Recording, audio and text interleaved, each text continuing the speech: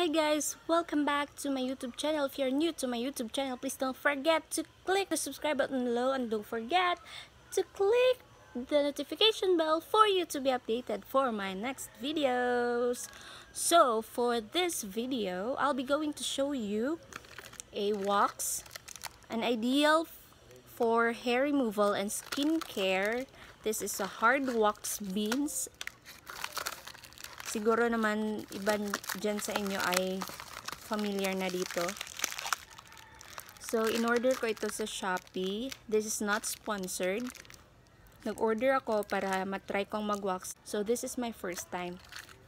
So, dahil para worth it yung pag-wax natin, pinag-ipunan ko talaga ang aking kilikili ng buhok. So, ito. Mag-judge na kayo tayo. Ayan, para lalaki yan lang. So, I don't care kung may magja-judge dyan. Natural lang din naman yung ibang tao may makapal talaga yung buhok sa kilikili. Okay? So, before to gamitin ay dapat tong tunawin hanggang maging malagkit. Yun. Tayo naman lahat siguro ay familiar na sa wax. So, let's start this video. Use this color so this is the result after melting it so we're gonna wait na hindi na siya mainit para hindi masisira yung kill-kill natin. So we're back. Dahil natapos na natin tunawin yung wax beans So, sa part na ito ay mali ang naggawa ko kasi yung pag-apply ko, nag-base lang siya sa strand ng hair ko sa kilikili. Dapat di plastic yung ginamit ko pala.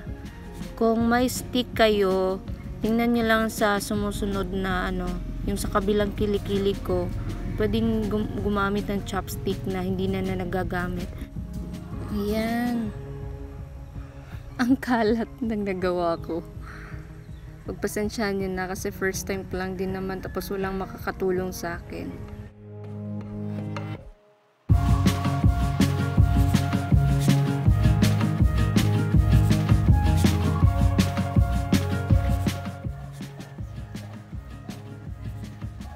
Tingin ko okay na siya.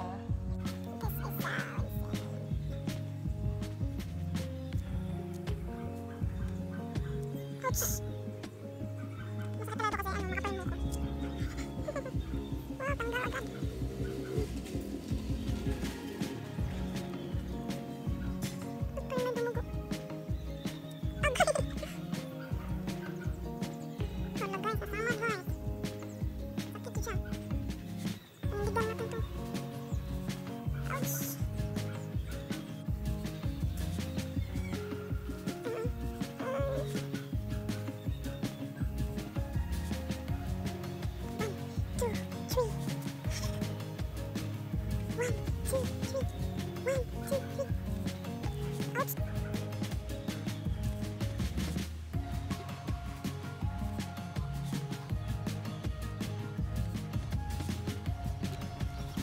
So, nakita nyo sa ibaba, nilagyan ko na ganyan sana dapat yung paglagay ko. Dapat makapal.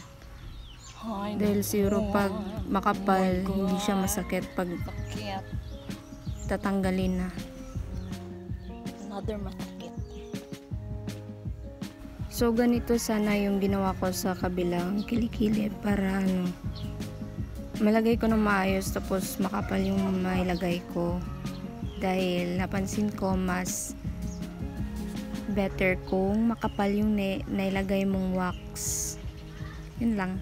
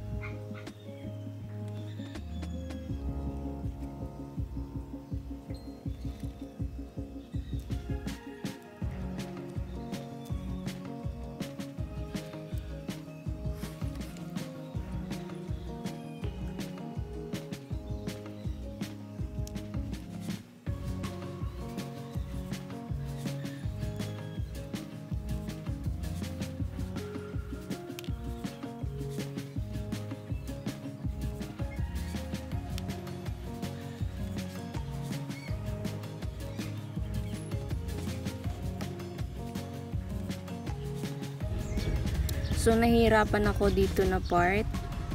At ito na yung mga buhok na nakuha sa aking dalawang kilikili.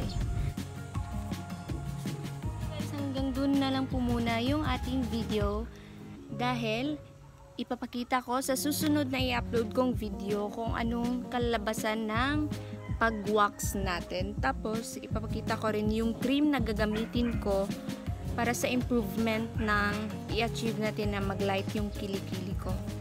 So, thank you for watching. Thank you sa nanonood.